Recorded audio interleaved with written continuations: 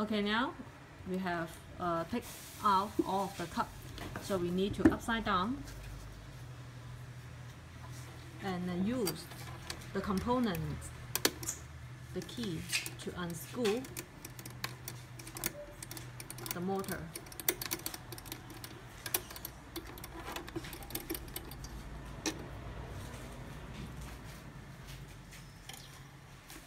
We will uh, send you this key as the component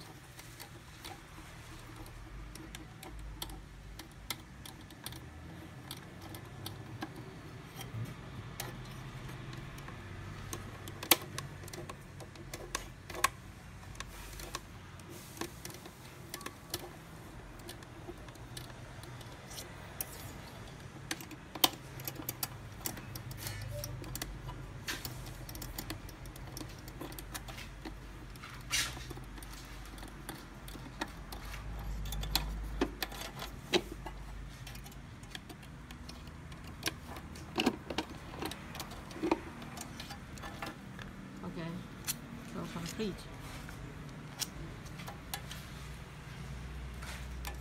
Mhm. So it's easy. So just uh, um,